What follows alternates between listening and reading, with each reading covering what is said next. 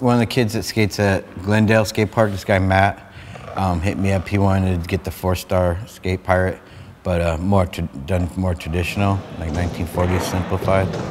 So I ended up tattooing it on him and posting it on Instagram. They liked it and they wanted to do a t-shirt of it. I really admire this logo, it's so iconic. And that's kind of what I end up tattooing most of the time is iconic skate designs like Skate and Destroy and Dogtown Crosses. And now this is part of my repertoire.